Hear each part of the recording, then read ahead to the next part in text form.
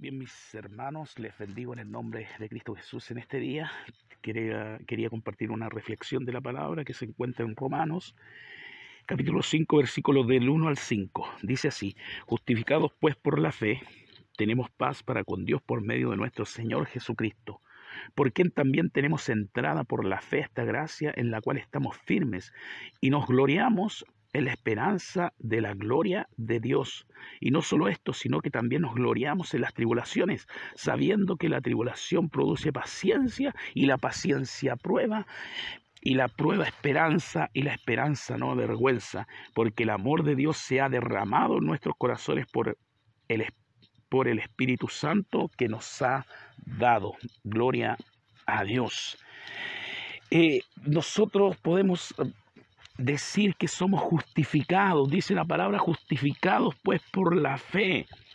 Justificados pues por la fe, fe en quién? En nuestro Señor Jesucristo. Esta eh, justificados es una palabra, una declaración legal que se hace una sola vez y que tiene resultados eh, perpetuos. Es importante esto. Este término viene de la palabra griega que significa justo y tiene que ver con declarar justo a alguien. Dios declaró justo al pecador solo con la base en, los méritos de Jesucristo y su justicia perfecta.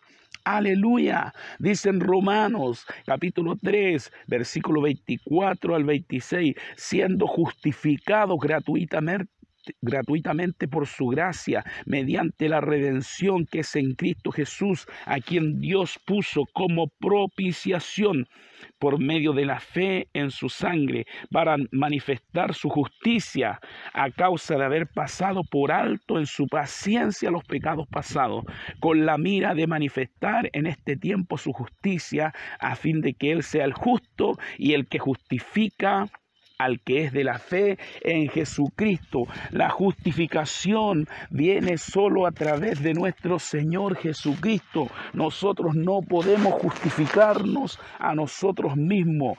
No podemos justificarnos delante de Dios. No podemos hacerlo sin nuestro Señor Jesucristo. En estos días celebramos la Pascua, ¿cierto? El pasar por alto, el pasar de largo. Porque a través de la sangre, veré la sangre y pasaré de vosotros. Lo mismo, justificados a través de nuestro Señor Jesucristo y lo hace una sola vez y para siempre. Son resultados perpetuos es, esto es lo importante, lo maravilloso eh, de la justificación. Él nos justifica a nosotros, no teniendo nosotros ningún mérito, ningún, eh, eh, ni una cosa que podamos nosotros haber obtenido, ganado o haber comprado algo con lo que nosotros hacemos o dejamos de hacer. Dios lo hizo todo para nosotros. Gloria a su nombre en esta mañana. Gracias a Dios por esta palabra, pero también en el mismo versículo 1 dice, justificado pues por la fe.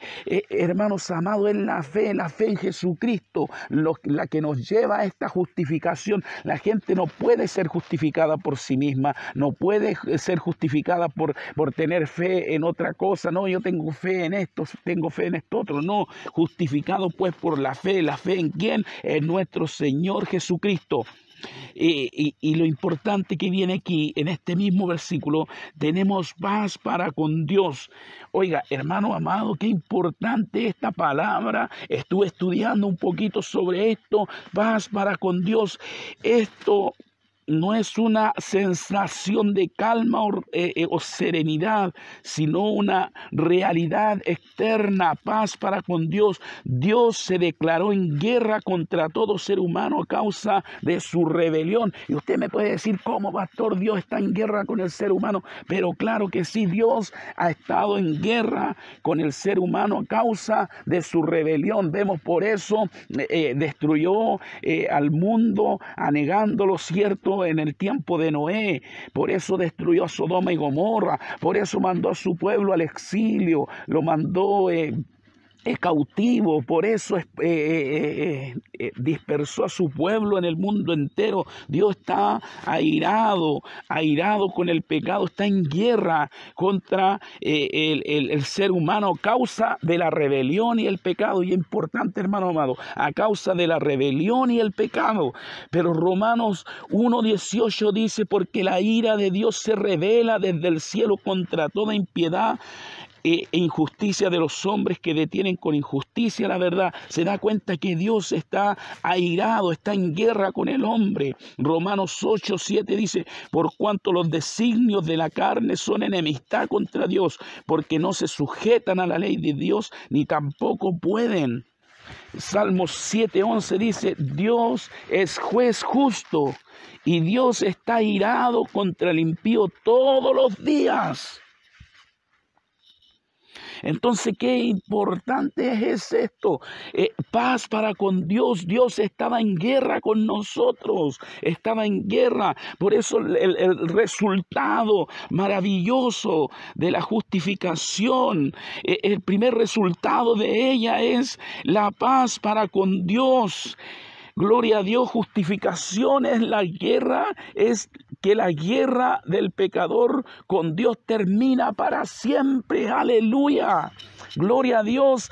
Eh, repito esto, el primer resultado de la justificación es que la guerra del pecador con Dios termina para siempre. Gloria a Dios. Aleluya. Colosenses 1, 21, 22 dice, y a vosotros también que erais, erais a vosotros que también que erais en otro tiempo extranjeros y enemigos en vuestra mente, haciendo malas obras, ahora os ha reconciliado en su cuerpo de carne por medio de la muerte, para presentaros santos y sin manchas e irreprensibles delante de él. Las escrituras se refieren al término de este conflicto como la reconciliación por medio de una persona. Se llama Jesucristo.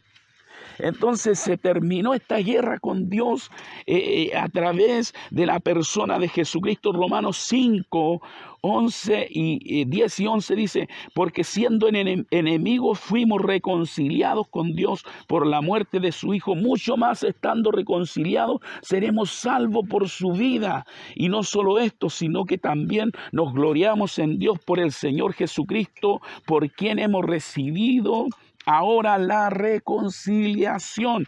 Oiga, hermano amado, esta guerra se terminó. Tenemos paz para con Dios por medio de nuestro Señor Jesucristo. Se terminó esta guerra. Por eso dice justificados, pues por la fe tenemos paz para con Dios. Ahora estamos en paz con Dios, pero por medio de nuestro Señor Jesucristo se terminó el conflicto, se, se terminó la guerra. Ya no somos enemigos de Dios, sino que ya fuimos reconciliados a través de la persona de nuestro Señor Jesucristo.